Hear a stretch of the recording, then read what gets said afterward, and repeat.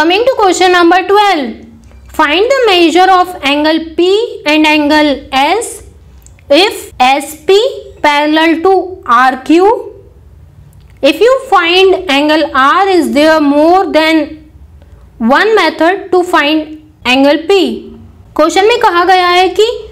हमें फाइंड करना है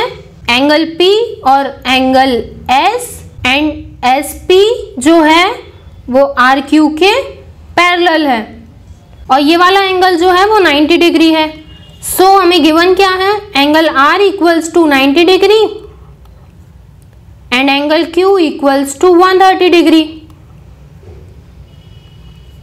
and जो एस पी है वो आर क्यू के पैरेलल है। We know that angles of a trapezium are supplementary so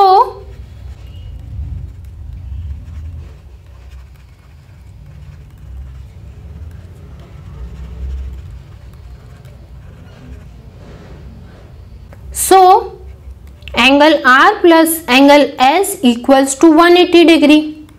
because adjacent angles of trapezium are supplementary so angle R है हमारा 90 degree plus angle S equals to one eighty degree that means angle S equals to one eighty degree minus ninety degree so हमारा angle S आ जाएगा 90 degree similarly angle P plus angle Q equals to 180 degree so angle P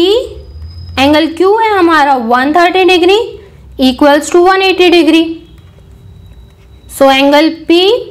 180 degree minus 130 degree that means हमारा angle P जो है वो है 50 degree